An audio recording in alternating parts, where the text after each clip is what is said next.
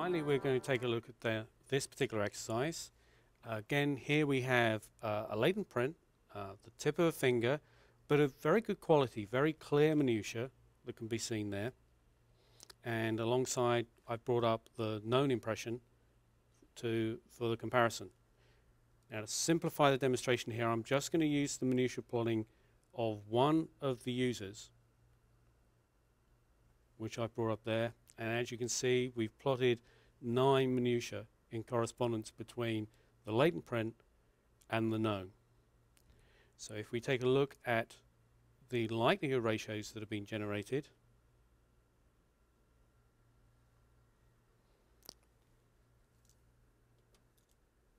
So here we have the table of likelihood ratios. And you can see the user that I've plotted, but you can see the other users have all achieved the same magnitude in terms of likelihood ratio, 10 to the power 4. And all those users have plotted the same 9 minutiae. However, if you recall the charts and the information we gave you in the presentation, the likelihood ratio for 9 minutiae should be substantially higher than 4 in many cases. So the, what we need to do here is consider actually what this particular software is telling us. Is it saying that, in fact, this configuration of minutiae is not very specific and therefore giving us a true low likelihood ratio? Or has this likelihood ratio been reduced by some other factor? So let's go back again and look at that latent and known impression.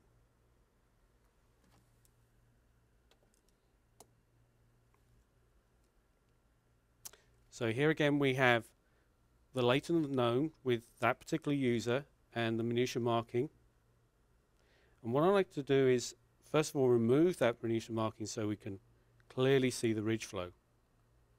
And I'd like you all to concentrate on one particular area, which is this area just here.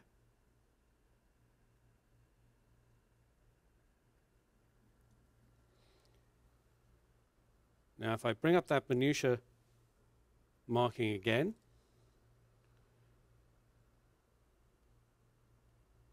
you can see that the correspondence of minutia has been marked, but it's clearly seen that in fact the spatial distribution has changed. And in fact the ridge flow, the underlying ridge flow there, is not consistent. Now the most likely cause of that would be some form of distortion. But as you remember, the software itself does contain a distortion model.